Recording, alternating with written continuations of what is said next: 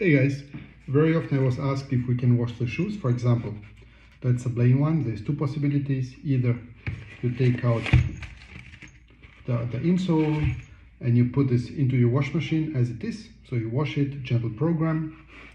This one's gonna also be washed.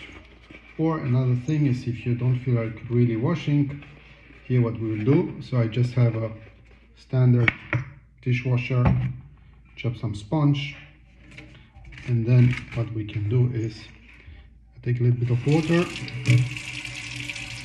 a little bit of some dishwasher you know.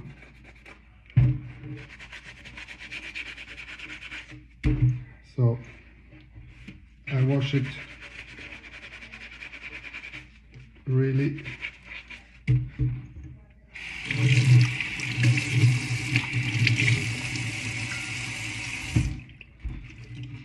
maybe a second time.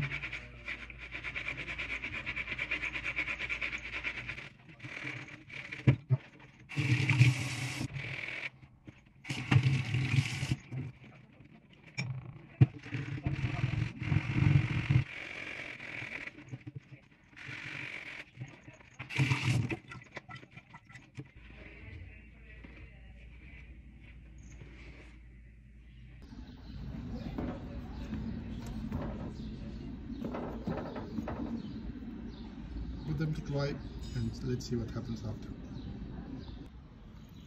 So after it's dry, the shoe is clean.